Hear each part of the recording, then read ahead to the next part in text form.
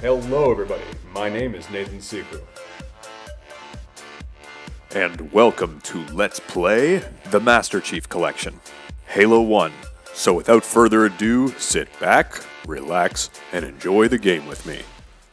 Yeah, so what I was saying, so after you defeat the guys in this very first part, like the very beginning of the level, here is the terminal. And here we go. Oh, Good game. That was fun. And I hope you had as much fun watching. If you liked what you saw, then comment, subscribe, like, and of course share this video on your favorite social network.